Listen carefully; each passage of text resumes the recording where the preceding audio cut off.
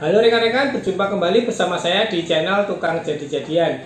Di kesempatan kali ini saya akan memenuhi request dari beberapa rekan kemarin yang meminta untuk TJJ membuat neon box tapi sistemnya nanti bolak-balik ya. Jadi untuk tampak muka dan tampak e, belakangnya. Ini sudah saya buat, sudah selesai. Ini bagian mukanya dan di bagian belakangnya juga sudah selesai, sudah saya pasang. Ini kalau kita balik juga belakangnya juga ada gambarnya. Jadi ini sistemnya bolak-balik, di dalamnya ada lampunya sudah saya pasang dan sudah bisa langsung kita fungsikan. Dan istimewanya dari neon box ini adalah saya buat sangat tipis yaitu tebalnya cuma tiga setengah cm. Langsung saja ya rekan-rekan kita lihat proses pembuatan dari neon box sistem bolak-balik ini. Baiklah rekan-rekan kita mulai saja videonya Untuk bahan pertama yang saya gunakan adalah hulu 4x4 bajaringan seperti ini kemudian saya menggunakan lampu LED strip. Ini warna putih eh, tegangannya 12 volt. Ini sudah ada gelnya bagian depan dan bagian belakangnya ada double tipnya sehingga nanti tinggal kita tempel saja. Terus ini adalah adaptor 12 volt 3 eh, ampere ya. Kemudian saya menggunakan paku rivet dengan diameter 3,2 mm dan ini adalah lembaran untuk tampilannya. Saya menggunakan bahan uh, backlight ya rekan-rekan supaya untuk cahayanya bisa lebih rata. Untuk harga cetaknya memang lebih mahal tapi nanti untuk hasil untuk cahayanya lebih bagus. Oke rekan-rekan selanjutnya saya menggunakan siku aluminium seperti ini lebarnya 1 cm langkah pertama kita akan ukur dulu ini untuk kebutuhan hulu baja ringannya. Ini sekitar uh, eh, 2 meter ya rekan-rekan ya. 2 meter terus ini saya bagi menjadi empat bagian di bagian tengahnya supaya nanti bisa langsung ditekuk. Ini saya potong eh, tiga bagian menggunakan gerinda tangan dengan mata cutting wheel seperti ini. Tiga bagian saja untuk pemotongannya. Kita potong di tiga tiga posisi ya.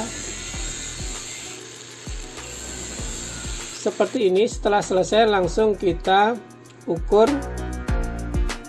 Nah seperti ini 3 cm dan kita buka menggunakan gunting bajaringan dan kita tekuk 90 derajat. Selanjutnya untuk sisa potongannya kita rapikan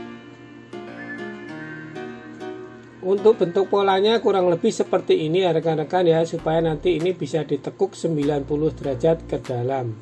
Kita kerjakan untuk posisi yang lain untuk polanya sama dengan yang pertama tadi. Jadi nanti ada tiga potongan pola seperti ini dalam satu batang.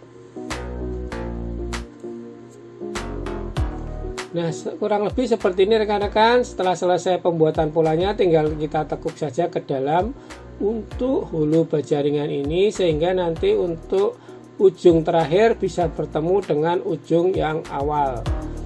Kita rapatkan seperti ini kemudian kita klem dulu. Selanjutnya kita ukur dulu untuk sudut e, supaya bisa siku ya. Seperti ini kemudian saya akan menggunakan mata bor e, besi dengan diameter 3,5 mm seperti ini ya. Langsung kita pasang saja di mesin bor dan kita gunakan untuk pengeboran di setiap sudutnya untuk pemasangan paku rivet kita langsung paku rivet di setiap sudutnya. Di setiap pojoknya kita paku rivet semuanya Nah, kurang lebih seperti ini dan langsung kita balik. Di sisi sebaliknya juga sama, kita lakukan pemasangan paku rivet di setiap sudutnya. Kurang lebih seperti ini. Dan ini untuk bagian terakhir atau bagian ujungnya kita tekuk ke dalam. Selanjutnya langsung kita bor dan kita paku rivet kembali. Baiklah rekan-rekan kurang lebih seperti ini. Selanjutnya kita paku rivet bagian dalamnya di setiap pojok. Kita pasang paku rivet sebanyak dua. Oke rekan-rekan hasilnya seperti ini untuk frame atau bingkai dari uh, neon box kita kali ini. Seperti ini saja simple dan sederhana. Kemudian kita akan persiapkan alat-alat untuk pemasangan LED stripnya seperti ini untuk LED stripnya bagian ujungnya nanti kita siapkan dan kita ukur dulu untuk panjang yang kita butuhkan di bagian dalam. Kemudian kita potong seperti ini di bagian sambungannya. Setelah itu kita akan kupas sedikit bagian gelnya supaya nanti terlihat dari konektornya. Seperti ini tembaganya sudah terlihat kita akan langsung kasih kabel di bagian ujungnya untuk disambung ke adaptor nanti. Ini tanda plus minusnya sudah ada ya jadi jangan sampai terbalik untuk posisinya. Nanti akan mati untuk lampunya. Seperti ini setelah sudah kita langsung kasih untuk selang bakar seperti ini supaya nanti tidak konslet kita rapatkan dengan cara kita panasi kemudian kita buat dulu pengeboran untuk jalur keluar kabelnya. Kemudian setelah itu tinggal kita pasang untuk lampu LED stripnya seperti ini di bagian dalam. Saya menggunakan dua lajur ya supaya nanti cahayanya bisa lebih terang. Jika rekan-rekan menghendaki untuk cahayanya lebih terang lagi bisa ditambah satu lajur lagi. Jadi nanti ada tiga baris ya ada tiga baris sehingga cahayanya bisa lebih terang lagi. Saya gunakan cukup dua saja seperti ini dan saya rapikan. Kita kerjakan semua sampai LED stripnya ini bisa memutar mengelilingi dari bagian dalamnya. Dan ini kita lem ya rekan-rekan sedikit bagian pojoknya. Kemudian ini untuk kabelnya kita masukkan di lubang yang sudah kita buat tadi ini sudah keluar dan langsung kita sambung dengan kabel yang dari adaptornya. Seperti ini kita sambung untuk plus minusnya jangan sampai terbalik. Dan kemudian kita kasih selang bakar supaya aman dari konslet. Nah seperti ini rekan-rekan ya. Kemudian kita amankan lagi tambah lagi dengan selang bakar yang lebih besar kita kerutkan untuk selangnya dan tinggal kita sambung ke bagian adaptornya. Nah kurang lebih seperti ini rekan-rekan untuk pemasangan lampunya sudah selesai untuk LED stripnya sudah terpasang dengan rapi. Sekarang kita waktunya akan kita coba. Nah ini sudah menyala untuk LED di bagian tepi-tepinya sudah menyala semua tidak ada yang mati Selanjutnya kita siapkan lem Korea atau lem G ini dan tinggal kita pasang untuk tampilan dari daripada neon boxnya. Kita tinggal lem bagian pojoknya seperti ini dan kita tarik di pojok e, sebaliknya. Kita tarik supaya di tengahnya tidak melengkung ya rekan-rekan ya. Bagian tengahnya bisa rata dan bagus. Kita lem mengitari atau mengelilingi dari framenya. Dan sisa uh, dari kertasnya ini tinggal kita potong menggunakan cutter saja.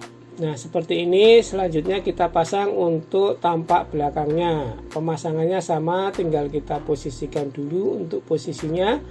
Dan kita lem untuk bagian pojok-pojoknya dulu dan kita rapikan di setiap sisinya seperti tadi untuk sisanya kita potong menggunakan cutter. Langkah selanjutnya kita akan lakukan pemasangan list aluminium ini supaya lebih rapi untuk bagian tepinya.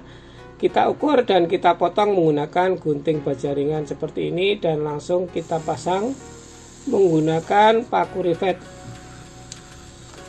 kita pasang paku rivet secukupnya saja ya. Jadi mungkin setiap baris ini kita kasih tiga paku rivet. Nah ini untuk bagian yang panjang atau bagian yang tinggi tinggal kita sama saja kita potong dulu. Dan untuk bagian tepinya kita potong miring seperti ini rekan-rekan supaya hasilnya lebih bagus. Kemudian kita paku rivet semuanya sampai kencang Nah kurang lebih seperti ini untuk tampak belakang sudah kita pasang untuk list aluminiumnya. Selanjutnya kita balik untuk neon boxnya. Ini bagian depan belum terpasang list aluminium. Kita sekarang pasang untuk list aluminiumnya. Semuanya mengitari dari frame dari neon boxnya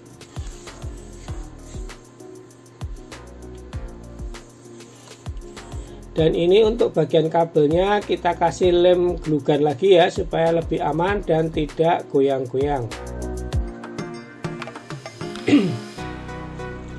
Baiklah rekan-rekan kurang lebih seperti ini sudah selesai untuk pembuatan neon box yang minimalis seperti ini.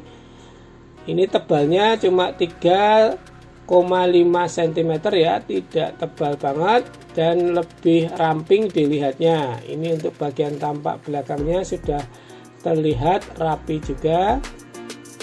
Dan jika diposisikan berdiri akan uh, seperti ini ya rekan-rekan ya. Nanti bisa kita pasang di tempat usaha kita atau lokasi yang kita butuhkan untuk menggunakan neon box ini. Kita akan coba ukur dari tebalnya ini rekan-rekan terlihat cuma 3,5 cm oke rekan-rekan ya pokoknya inilah hasil kerja kita kali ini. Neon box untuk dua muka atau depan belakang. Sekarang akan kita coba untuk menyalakan lampunya. Nah seperti ini rekan-rekan. Setelah lampunya dinyalakan hasilnya untuk cahayanya bisa rata tidak di pinggir saja. Di bagian tengahnya juga terang sama dengan bagian di samping setiap tepinya. Ini bagian depannya dan untuk bagian belakangnya juga sama rata untuk cahayanya. Kurang lebih seperti ini ya rekan-rekan ya. Bagi yang kemarin sudah request ini hasil. Mungkin masih banyak kekurangan di sana sini. Rekan-rekan bisa revisi atau menambah sendiri bagian mana yang kurang bagus mungkin perlu dirapikan kembali silahkan diimprove lagi oleh rekan-rekan sekalian Baiklah rekan-rekan, demikian video kali ini semoga dapat bermanfaat buat rekan-rekan sekalian. Terima kasih bagi yang sudah menonton.